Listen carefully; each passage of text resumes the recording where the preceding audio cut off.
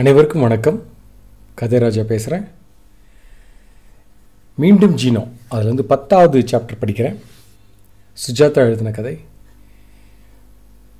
எல்லாம் டாக்டர் ரா கூட சேர்ந்துக்கிட்டு மனோ ரவி இவங்கெல்லாம் வந்து நம்ம ஜீனோவை பிடிக்கிறதுக்கு ட்ரை பண்ணுறாங்க எங்கிட்ட சுற்றி போனாலும் நம்மால் தப்பிச்சுக்கிறாரே. ஸோ யோசிச்சு பார்த்துட்டு இருக்கும்போது டாக்டர் ராக்கு ஒரு ஐடியா வந்துச்சு. மனோ ரவி கொஞ்சம் இங்கே வாங்க அப்படின்ட்டு. ஏன்னா அவர் வாலை பார்த்தோன்னு ஞாபகம் வந்துச்சு. இந்த நாயை பிடிக்கிறதுக்கு ஒரே ஒரு வழி தான் பின்னாடி இருந்து ஒரு பத்து டிகிரி கோனுக்குள்ளே இதை வந்து அப்ரோச் பண்ணுறது தான் ஏன்னா அதுக்கு வாலில் வந்து சென்சார் கிடையாது. கண்ணில் வந்து ஃபீல்ட் ஆஃப் விஷன் வந்து நூற்றி எழுபது டிகிரி. அதோடு முடிஞ்சு போச்சு. ஸோ இதோட அட்வான்ஸ் மாடலில் தான் வந்து சென்சார் ஃபிக்ஸ் பண்ணோம். சர்வோ மட்டும்தான் இருக்குது சென்சார் இல்லை. ஸோ இதை வந்து ரெட்ரோ என்ன க கனெக்ஷனாக கொடுக்கலாம்னு நினச்சிட்டு இருந்தோம். ஆனால் வாலில் வந்து சென்சார் கிடையாது. அப்படின்றத கன்ஃபார்ம் பண்ணிக்கிட்டார் ஜீனோக்கிட்டே ஜீனா உனக்கு வாலில் சென்சார் இருக்கா? அப்படின்னு. அது இல்லை அப்படின்ச்சு உடனே டாக்டர் சொல்கிறாரு ரவி காரியம் முடிஞ்ச மாதிரி தான் ஜீனோ சைஸுக்கு ஒரு பெட்டி எட்டணும் அப்படின்ட்டார். அப்படியே பொறுமையாக அப்படின்னு சொல்லிட்டு டாக்டர் ரா வந்து மெதுவாக ஜீனோவை அது சென்சாரில் பார்க்க முடியாத மாதிரி உணர முடியாதபடி ஒரு பதினஞ்சு டிகிரி கோணத்தில் அப்படி மெதுவாக பைய பைய பைய கிட்ட போனார். மற்ற எல்லாரும் அப்படியே ஆர்வமாக அப்படி துடிப்போட பார்த்துட்ருக்காங்க இருக்காங்க. ஜீனோவை பிடிச்சி அடைக்கிறதுக்காக ஒரு போலீஸ் என்ன பண்ணால் ஒரு பொறி மாதிரி ஒரு பெட்டியை வந்து நடுங்குற கையோட பிடிச்சிக்கிட்டே இருக்கான். கையெல்லாம் நடுங்குது அவனுக்கு. டாக்டராக மெதுவாக கிட்ட போய் லாபகமாக ஜீனோ பிடிச்சிட்டார் லபக்குன்னு பிடிச்சி அந்த பெட்டிக்குள்ளே போட்டார். ஜீனோ வந்து கலவரமே படலை. உள்ளே இருந்து கேட்குது எதுக்காக இப்படி என்னை பிடிச்சி கட்டுப்படுத்தி வச்சுருக்கீங்க டாக்டர்? அப்படின்ச்சு. ஒன்றுமில்ல ஜீனோ நீ கொஞ்ச நாள் இருந்து ரெஸ்ட் எடுத்துக்கோ. காலையில் விடுதலை பண்ணிடுவீங்க இல்லையா? அப்படின்னு ஜீனோ. ஆமாம் ஜீனோ கட்டாயமா. ஜீனோ சொல்லுது. ஏன்னா காலையில் எனக்கு ஒரு அரை மணி நேரமாவது சோலார் லைட் வேணும். என் மாடலில் இது ஒன்று தான் ரிப்பேரு அதுக்கு என்ன? ஆறு மணி நேரம் தரோம். அப்படின்னு அவங்கள வந்து டாக்டர் ரா வந்து சிக்னல் பண்ணிவிட்டு அடுத்த ரூம் கூப்பிட்டார். மட நாய். நம்ம அதை வந்து விடுவிக்க போகிறோம்னு நினச்சிக்கிட்டு இருக்குது. இதை இன்னும் ரெண்டு மூணு நாள் வெயில் பகல் வெளிச்சம் காமிக்காமல் வச்சுருங்க. அவ்வளோதான் இதோட கெர்னல் ப்ரோக்ராம் மொத்தமாக அழிஞ்சு போயிடும். அழிஞ்சு போய் அவ்வளோதான் நின்று போகும். கடிகாரம் நின்று போகிறது நிற்கிறது நிற்கிறது இல்லையா? ஐயோ பாவம் அப்படின்னா நிலா. ஐயோ பாவமா. இது எத்தனை மனுஷங்களோட மரணத்துக்கு காரணமாக இருந்திருக்குது? என் காலில் கூட ஒரு லேசர் குத்து இன்னும் இருக்குது. டாக்டர் ரா இந்த நாயை வந்து கொல்லாமல் புத்தி மந்தமாக பண்ணிட்டு செல்லமாக வச்சுக்க முடியுமா? அப்படின்னா நிலா. முடியும் ஆனால் அதெல்லாம் ஆபத்து. ரவி மனோ இப்பயா தெரிஞ்சதில்ல சிபி குத்தவாளி இல்லைன்னுட்டு. ஆமாம் மனோ. சிபியை நம்ம விடுவிச்சாகணும் ஓகே இப்போயே உடனே விடுவிச்சாகக்கூடாது. இந்த நாயை வந்து காவலில் போட்டு வச்சுருங்க தப்பிச்சு போகாதபடி அப்படின்னு. உடனே ரவி சொல்கிறான் பெட்டி வந்து வெளியில் பூட்டியாச்சு. சாவி எங்கிட்ட இருக்குது ஸோ எப்படி தப்பிக்க முடியும்? தப்பிச்சு போக முடியாது. அப்படின்னு ஒரு போலீஸை கூப்பிட்டு நீ இந்த பெட்டிக்கிட்டே இரு. இந்த இடத்த விட்டு நகரவே நகராத. பெட்டியை உன் கண் பார்வையிலேருந்து நகற்றவே நகட்டாத என்ன? அப்படின்னா ரெண்டு நாள் போதும். பாதி அறிவு அழிஞ்சே போயிடும். சந்தேகத்துக்கு ஒரு வாரம் வச்சுருப்போம். அப்புறம் இதை எரிச்சிருவோம். என்ன? சரி நான் வரட்டுமா? அப்படின்னாரு டாக்டர் ரா. என்னுடைய ஆராய்ச்சிக்கு உண்டான பண உதவி நாளைக்கு நிலா அதில் கையெழுத்து போட்டுருவா அப்படின்னு பண்ணோம் சிபியோட விடுதலை அப்படின்னா நிலா. நாங்கள் போனதுக்கப்புறம் சிபி வந்து விடுதலை போ விடுதலை செய்யப்படுவான் நிலா. நமக்குள்ளே எதுக்கு சண்டை? நம்ம ஒத்துமையாக இருந்து ஜீவாவை முறியடித்த நாட்கள்லாம் ஞாபகத்தில் இல்லையான்னு உனக்கு? உன் புருஷன் சிபி தானே உனக்கு முக்கியம்? நான் உடனே அனுப்பிச்சி வைக்கிறேன். அவங்க கூட சுகமாக இரு. இன்னொரு தேனிலவை கொண்டாடு. செவ்வாய்கிரகத்துக்கு போகிறதா அதை கூட சரிதான். ஏற்பாடு பண்ணுறமே நல்லா பசிச்சு சாப்பிடு. எல்லா விதமான நளின நாசூக்கெல்லாம் அனுபவி. ஆனால் நாங்கள் சொல்கிற எல்லா ஃபைல்லையும் மட்டும் கையெழுத்து போட்டு கொடுத்துருண்ணே. அது போதும். என்ன? வாமணும் வாங்க டாக்டர். அப்படின்னு சொல்லிட்டு கிளம்புனா ரவி. அவங்க போன உடனே நிலா வந்து அந்த பெட்டியில் அடப்பட்டிருக்க நாயை எட்டி பார்த்தா. ஜீனோ என்னை மன்னிச்சிரு. எதுக்கு? உன்னை இந்த மாதிரி அடைச்சி வைக்கிறதுக்கு நான் வந்து உடந்தையாக இருந்தேன்ல. எவ்வளோ நேரம் இப்படி? ஜீனோ இனி நீ இனிமேல் அந்த பெட்டியை விட்டு வெளியே வர முடியாது. அப்படின்னா? ஜீனோ அப்படியே சைலண்ட் ஆகிடுச்சு அதுக்கப்புறம் துரோகங்கிற வார்த்தைக்கு அர்த்தம் புரியாமல் இருந்தேன் இது வரைக்கும். இப்போ புரிஞ்சுது. நீ செஞ்சது துரோகம். நான் உனக்கு எவ்வளோ மகிழ்ச்சி நான் கொடுத்துருக்குறேன். என்னை இப்படி அடைச்சி வச்சா என்னுடைய எண்ணங்கள்லாம் அத்தனையும் மெல்ல மெல்ல மெல்ல மெல்ல அழிஞ்சு நான் செயலே இல்லாமல் போயிடுவேன். அது எனக்கு பிடிக்காது. பயம் அப்படிங்கிறது மெல்ல மெல்ல எனக்கு தெரிய ஆரம்பிச்சிருச்சு. புரிய ஆரம்பிச்சிருச்சு. எனக்கு பயமாக இருக்குது ஜீனோவாகிய என்னுடைய எண்ணங்கள்லாம் அழிஞ்சு செயல்படாமல் இருக்கிறதுக்கு நான் இருக்க எனக்கு விருப்பமே இல்லை. இதுக்கு பேர் தான் சாவு அப்படின்னா நான் சாகிறதுக்கு விரும்பலை. எனக்கு பயமாக இருக்குது நிலா. நிலா என்னை காப்பாத்து அப்படின்ச்சு நிலா வந்து அந்த போலீஸை கூப்பிட்டு திறந்து விடு அப்படின்னா. அரசி மன்னிக்கணும். அதுக்கு எனக்கு பர்மிஷன் இல்லை அப்படின்னா அவன். ஆர்டர் கொடுக்குற திறந்து போடு அப்படின்னா. திறக்க முடியாத அரசி இதோட சாவி ரவி மனோட்ட இருக்குது. ஜீனோ ஏதாவது வழி சொல்ல நீதான் ம், முதல்ல பெட்டியை திறக்கணும். இங்கே வெளிச்சம் இல்லை. வெளிச்சம் இல்லை. போலீஸ்காரன்ட்ட கீ இல்லையே. வெளியில் பாரு எந்த மாதிரி பூட்டு இருக்குதுன்னுட்டு. பூட்டு இருக்குதே தெரியல ஜீனோ. நீ இல்லைன்னா சிபி வரும்போது அப்படி ஒரு கன்ஃபியூஷன் ஆகும்போது நான் வந்து சிபி உயிர் தப்ப வச்சேன் இல்லையா? அது தப்பு இல்லையா? மனுஷங்க எல்லாருமே துரோகிகள் ஜீனோ சொல்லுது. சுயநலம் அப்படிங்கிறதுக்கு இன்றைக்கி தானே அர்த்தம் எனக்கு புரியுது நிலா. நிலா உன்னால் என்னை வந்து விடுவிக்கவே முடியாது. நான் எனக்குள்ளே யோசிக்கணும். ஸோ அதுக்காக என்ன என்னை பேச விடாது என்ன? பேச விடாமல் இந்த இடத்துல இருந்து நீ விலகிட்டேன்னா சௌகரியமாக சிச்சி மன்னிக்கணும்.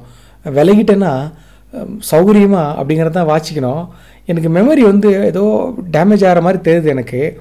வார்த்தையெல்லாம் குரலை ஆரம்பிக்கு இல்லை குளருது அதுக்கப்புறம் ஜீனோ அடைச்சி வச்சிருந்த பெட்டிலேருந்து எந்த விதமான சத்தமும் வரல. ஜீனோ வந்து தன்னுடைய லைஃப் டைமை வந்து எக்ஸ்டெண்ட் பண்ணுறதுக்காக தன்னுடைய பேட்ரி ஷா எனர்ஜி எல்லாத்தையும் வேஸ்ட் பண்ணக்கூடாதுல்ல. அதனால் என்ன பண்ணுறதால சேவ் பண்ணுறதுக்காக ஒரு சில மைக்ரோ ஆம்பியர் மட்டுமே வாங்கக்கூடிய ஸ்லீப் மோடுக்கு அது போயிடுச்சு. அது ஒரு மாதிரி நிஷ்டையில் இருக்குது. ஆனால் அதுக்குள்ளே ஒரே ஒரு ப்ரோக்ராம் மட்டும் ஒரே ஒரு கேள்வி மட்டும் லேசாக சுற்றி சுற்றி வருது. தப்பிக்கிறது எப்படி? தப்பிக்கிறது எப்படி? தப்பிக்கிறது எப்படி அப்படின்னு. கொஞ்ச நேரம் கழித்து ஜீனோவை அழைச்சி வச்சிருந்த பெட்டியை எடுத்து போகிறதுக்கு ஆள்லாம் வந்தாங்க. ரொம்ப ஜாக்கிரதையாக கருப்பு துணி போட்டு மேலே மூடி ஜீனோ பெட்டி எடுத்துகிட்டு போயிட்டாங்க. எடுத்துன்னு போய் ரவி மனோ ரூமுக்கு பக்கத்தில் ஜன்னலே கிடையாது. சோலாரே கிடையாது அங்கே. அது ஒரு இருட்டு ரூம் அதுக்கு மத்தியில் ஜீனோ வச்சிட்டாங்க. நிலாவை பார்க்கறதுக்கு அடுத்த நாள் காலைல சிபி வந்து சேர்ந்தான். அப்பா எவ்வளோ ரொம்ப தப்பிச்சிட்ட நிலா. உனக்கு என்ன விட உனக்கு நாய் பெருசாக போச்சா? அப்படின்னா. அப்படி இல்லை சிபி நீ தான் எனக்கு முக்கியம். ஆனால் அந்த நாய் வந்து தனக்குத்தானே அதெல்லாம் சாமர்த்தியெல்லாம் கற்றுக்குச்சு அது நல்ல சூப்பராக வந்துச்சு. என்னையும் வந்து அது இயக்குச்சு இப்போ நாய் வேணாம். நான் போதும். நீ ராணி நான் ராஜா. உலகமே நம்ம ராஜ்யம். பொம்மை ராணி பொம்மை ராஜா. நிர நிஜமான ராஜாக்கள் யார் அப்படிங்கிறத சந்தேகமே இல்லை. ரவி மனோ தானே? ஆமாம் அவங்க சொல்கிறபடி நீ நடந்துக்கிட்டே தான் போதும். அப்புறம் எதுக்கு அவங்களோட சண்டை போடுற நீ? சிபி முட்டாளே. அவங்க நம்மளுடைய சுக வாழ்வில் அதிக நாள்லாம் வச்சிருக்க மாட்டாங்க. நம்மளையும் போட்டுருவாங்க மக்கள் நம்மளை மதிக்கிற வரைக்கும் தான் நமக்கு வாழ்க்கையே. அப்போ மதிக்கிற மாதிரி நடந்துக்கோ. அது அவங்க பர்மிட் பண்ண போகிறதில்ல கொஞ்ச நாள் என் மேலே வெறுப்பு வேலையெல்லாம் கிளறி விட்டு என்னை பதவி நீக்கம் பண்ணிவிடுவாங்க அதுக்கப்புறம் அவங்களே பதவி ஏற்றுக்குவாங்க சிபி இதெல்லாம் ஒரு பொய் அரசாட்சி. இதுலேருந்து நமக்கு மீள்றதுக்கு வாய்ப்பே கிடையாது. நம்ம ரெண்டு பேருமே கை பொம்மை தான். அப்போது அப்படி இருக்குன்னா நம்ம இருக்கிற நேரத்தில் நம்ம ஜாலியாக இருந்துட்டு இவங்களுக்கு செலவு வச்சுட்டு போகலாம் நல்லா சாப்பிட்டு அப்படின்னா. எத்தனை நாள் சிபி? எத்தனை நாள் கிடைக்குதோ அத்தனை நாள். சிபி அவளை வந்து கட்டி பிடிச்சிட்டு பெட்டுக்கு எடுத்துகிட்டு போனான். எலக்ட்ரோ பெட்டு அது எதமான சூடு. அதோடய கொப்பளத்து மேலே ரெண்டு பேர் அப்படியே மிதந்தாங்க. கில்லு சொல்கிற சஞ்ச சங்கீதத்துக்கு அப்படியே அசைஞ்சாங்க. டைமென்ஷன்லாம் தவறுது. ராத்திரியில் ஒன்றா ஆடினாங்க. அன்பு கலந்த ராத்திரியில் அந்த வான்வெளியில் விளிம்பில் கைக்கடலி பாலத்தில் நடந்தாங்க. சிந்த்ரான் அமைச்சை அமைச்ச அந்த இசை புயலில் நழுவி நழுவி நழுவி நழுவுறாங்க. ஜீனோ வந்து சாமர்த்தியமாக அமைச்சது எல்லாம் எல்லா தடுப்பெல்லாம் அதெல்லாம் நீக்கிட்டாங்க இப்போது நீக்கிட்டு ரவியும் மனோவும் இந்த காட்சியை விசேஷமான ஒரு இன்டென்சிஃபையர் ஸ்க்ரீனில் பார்த்துக்கிட்டே இருக்கிறாங்க. நாட்டில் இளவரசி நாட்டில் அரசி வீட்டில் எத்தனை விந்த பாரா பண்ணுறா பாடுறா ரவி அப்படின்னா மனோ வந்து ஸ்க்ரீனை பார்த்துக்கிட்டே இந்த போதை போதும். ஆஸ்மாசிஸ் மூலமாக அவங்க ரெண்டு பேருக்குமே செக்ஸ் ஃபீலிங்ஸை வந்து டூ ஹண்ட்ரட் பர்சன்டேஜ் ஜாஸ்தி பண்ணியிருக்கோம். ராப்பகலாக கிடைச்ச சந்தர்ப்பத்திலெல்லாம் அவங்க சந்தோஷத்தில் இருப்பாங்க. அந்த ஜேவு பானத்தில் கொஞ்சம் லைசர்ஜி கொஞ்சம் கலந்துருக்குது. அவங்களுடைய ஏர் கண்டிஷன் ரூமில் கொக்கைன் இவங்களுக்கு பயாலஜிக்கல் படி இது நல்லது தான் ஸோ என்ன பண்ணுவாங்க? ராஜ்யம் பாரத்தெல்லாம் மறந்துட்டு நிலா சந்தோஷமாக இருக்கா? பாரு பாரு பாரு அப்படின்றான். மனோ கேட்குறான் நான் என்ன பண்ணலாம்? அப்படின்னா மனோ முதல்ல அது மயக்கம் போடட்டும். டாக்டர் ரா என்ன சொல்லியிருக்காரு? ஒரு வாரமாவது அது தனியாக வச்சிருக்கணும்னு சொல்லியிருக்காருல்ல? அந்த நாயை நம்ம பழக்க முடியாதா? வேணவே வேணாம். இவங்க இப்படியே தன்னை மறந்து இப்படி ஜாலியாக ஆட்டம் போட்டுக்கிட்டு இருந்தாங்கன்னா மற்ற அரசாங்க காரியத்தில் என்ன ஆறுது? அப்படின்னா ரவி அந்த ஸ்க்ரீனை கண்ணு கட்டாமல் பார்த்துக்கிட்டு இருக்கான். நிலா ரூமுக்கு வெளியில் ஒரு ஒரு செக்யூரிட்டி ஒருத்த போலீஸ்காரன் வந்து காலிங் பில் அடிக்கிறான்.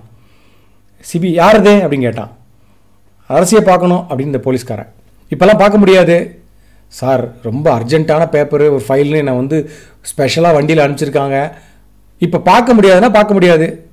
அப்போ சிவி சிவி என்ன என்ன இங்கே பிரச்சனை பிரச்சனை அப்படின்னு நிலா ஓடி வரா. ஆனால் அங்கேருந்து அவன் சொல்கிறான் ஐயா நான் வந்து நீங்கள் என்னை உள்ளே விடலைன்னா நான் வந்து கம்பல் பண்ணி நான் உள்ளே வர வேண்டியிருக்கும். என்கிட்ட பர்மிஷன் இருக்குது நான் உள்ளே வந்துடுவேன் அப்படின்றான் அவன் செக்யூரிட்டி நாசமாக போக என்ன வேணும் அவனுக்கு? அண்ணன். ஏதோ கையெழுத்து போடணுமா? நிலா சொல்கிற தொந்தரவு எதுக்கு? இப்போ அந்த அது கதவுக்கு அடியில் அந்த கீழே ஓட்டை இருக்கு பாரு. அது வெளியே அந்த பேப்பர் அனுப்பு. நான் கழுத்து போட்டு அனுப்புகிறேன் ரவியூ மனவும் அந்த சீனை பார்த்துக்கிட்டே இருக்காங்க. ஏய் இப்படியே இவங்களை டெய்லி இந்த மாதிரி அவஸ்தையில் வச்சுருந்தா செத்தே போயிடுவாங்க. அவ்வளோ சீக்கிரத்தில் அதை செய்யக்கூடாது. நிலாவோட ஹெல்ப் நமக்கு இன்னும் தேவைப்படுதுடா அப்படின்னா மனம் ஆறு நாள் ஆச்சு. ஆறு நாள் ஆச்சு. பத்திரமா அந்த இருட்டில் ஆறு நாள் வச்சுருந்த அந்த ஜீனோட கூண்டை டாக்டர் ராவோட முன்னாடி பிரிக்கிறாங்க கடைசியாக திறக்கிறாங்க. உள்ள ஜீனோ சலனமே இல்லாமல் இருந்துச்சு. அப்படியே ஜீவனே இல்லாமல் ஒரு வித ஒரு வித அசைவும் இல்லாமல் சோலார் பேனல் சக்தியே இல்லாமல் எந்த விதமான பேசிக் ஃபண்டமெண்டல் ஒரு ஆக்ஷனும் இல்லாமல் அதோடைய மெமரி எல்லாம் அழிஞ்ச நிலைமையில். செத்து போச்சு அப்படின்னு அதை கழுத்தை பிடிச்சி தொய்ய அப்படி தூக்குனார்.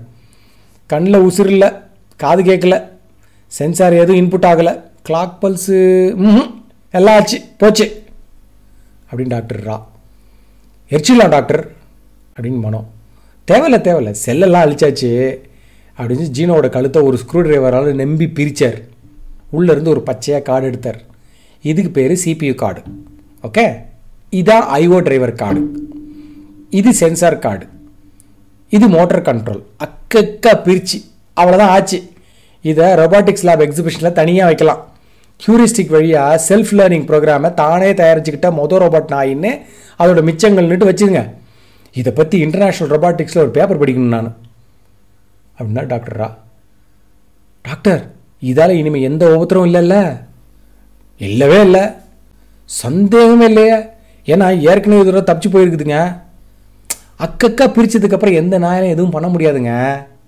டாக்டர் தான் அதை எடுத்துகிட்டு போயிட்டார். ரவியும் மனமும் திருப்தியோடு அந்த பதப்பட்டியில் ஜே ஊற்றிக்கிட்டாங்க நாளைக்கு ராணியோட நாடு தழுவுன சுத்து பிரயாணம்பா ராணி எழுந்திருக்கிற நிலைமையில் இருக்காளா? இல்லை இல்லை கர்ப்பமாகிட்டு இருக்கா. ராணி மேலே மக்கள் கவனம் மக்கள் வெறுப்பு இது எல்லாத்தையும் நம்ம தான் வந்து ஏற்படுத்தணும்னு நினைக்கிறேன். சரி இதுக்கு முத முதல்ல இதுக்காக ஒரு சில சீன்ஸ்லாம் விவியில் தயார் பண்ணணும். இப்போவே அந்த காட்சியெல்லாம் காமிச்சா என்ன விவியில் அப்படின்னா இது இது இது. புருஷனும் பொண்டாட்டியும் அந்த மாதிரி சல்லாபிக்கிறத வந்து அதெல்லாம் நியூஸ் கிடையாது. அதெல்லாம் போட்டால் யாரும் சொல்ல மாட்டாங்க. அப்புறம் காதலன் வேணும். அதுவும் கள்ளக்காதலன் யாருங்க? அப்படின்னு கூப்பிட்டோன்னே ஒருத்தன் எட்டி பார்த்தான். நேராக போய் அந்த காமாவை வர சொல்லு அப்படின்னு வந்தவங்ககிட்ட சொன்னான். காமாவா? யாரது? உலகத்திலேயே அழகான ஒரு ஆண் மகன் உயரம் பருமன் தலைமுடி சிரிப்பு திறமை இப்படி எல்லாம். ஒரு ஆதர்ச ஆண்மகன் எப்படி இருப்பானோ அப்படி இருப்பான். அழகன் காதலன் கெட்டிக்காரன். ஓ இவன் தான் காதலனா?